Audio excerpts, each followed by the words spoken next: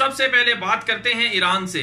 ایران کی جانب سے دعویٰ کیا گیا ہے کہ ایران کے اندر امریکہ، سی آئی اے کے لیے کام کرنے والے پندرہ ایجنٹوں کو گرفتار کر لیا گیا ہے۔ یہ ایرانی ایجنٹ امریکہ کے لیے خدمات سر انجام دے رہے تھے، جاسوسی کر رہے تھے اور ایران کے مختلف اداروں میں سرکاری عہدوں پر فائز تھے۔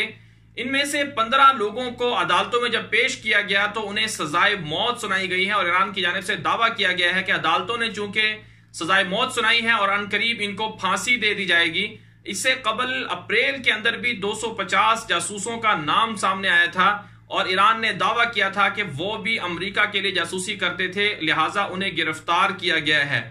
اور دوسری جانب برطانیہ اور ایران کے درمیان گلف کے اندر جو تناؤ تھا، اس میں برطانیہ کا جہاز پکڑا تھا، ایران نے اس پر کشیدگی چل رہی ہے۔ اور ایران نے ابھی تک برطانیہ کا جہاز نہیں چھوڑا۔ برطانیہ کی جانب سے سنگین نتائج کی ایران کو دھمکیاں دی گئی ہیں۔ جرمنی نے یہ دعویٰ کیا ہے کہ اگر برطانیہ کا جہاز ایران نے نہ چھوڑا تو ایران کے خلاف برطانیہ جنگ بھی کر سکتا ہے۔ اور پھر ساتھ ساتھ ٹرمپ نے سعودی عرب کے اندر پانچ سو فوجیوں کو تعینات کر دیا ہے۔ تو یہ صورتحال کیا چل رہی ہے؟ کیا واقعی ایران کے اندر امریکہ کے سی آئی اے کے ایجنٹ پکڑے گئے ہیں؟ یا پھر بہت سے لوگوں کا یہ کہنا ہے کہ جن لوگوں کو پکڑا گیا ہے وہ چونکہ ایران کی حکومت کے پالیسیوں کے نظام حکومت کے خلاف تھے، دراصل اپوزیشن کے ان لوگوں کو پکڑا گیا ہے اور ان پر الزام ہے کہ وہ سی آئی اے کے لیے جاسوسی کرتے تھے اور اس سے پہلے بھی ایران نے امریکہ کے نام پر جن جاسوسوں کو پکڑا، وہ دراصل جاسوس نہیں تھے، وہ ایرانی لوگ تھے، حکومت کے خلاف تھے، اس لیے حکومت ان کو راستے سے ہٹانے کے لیے ان پر یہ الزام لگا رہی تھی۔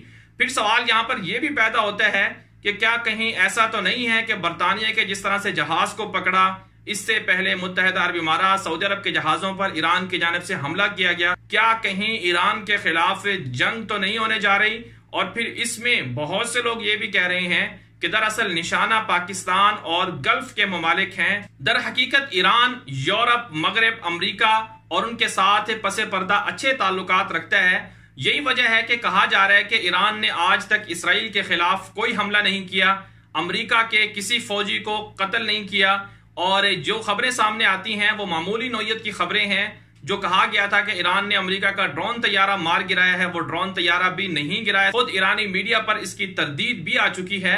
تو دراصل بہت سے لوگ یہی سمجھتے ہیں کہ ایران کے ذریعے جو نشانہ ہے، وہ گلف کے ممالک ہیں اور پاکستان ہے لیکن اب اس کا نتیجہ کیا نکلے گا؟ مستقبل میں کیا ہونے والا ہے؟ یہ تو اللہ ہی جانتا ہے، لیکن اتنی بات ضرور ہے جو کشیدگی اس وقت ایران اور امریکہ اور باقی ملکوں کے درمیان چل رہی ہے۔ تو یہ کسی جنگ کا صورت بھی اختیار کر سکتی ہے۔ اور اس کے ساتھ ساتھ خلیجی جی ممالک کو ڈرا دھمکا کر یورپ اور مغرب جو ہے وہ اپنا اسلحہ بیچنا چاہتا ہے۔ شاید اس وجہ سے بھی یہ کشیدگی کا ماحول بڑھایا جا رہا۔ ہو بہرحال ناظرین کرام، آپ اس حوالے سے کیا سمجھتے ہیں؟ آپ کی کیا رائے ہے؟ اس حوالے سے آپ ہمیں کومنٹ کر کے آگاہ کر سکتے ہیں، اپنی رائے دے سکتے ہیں۔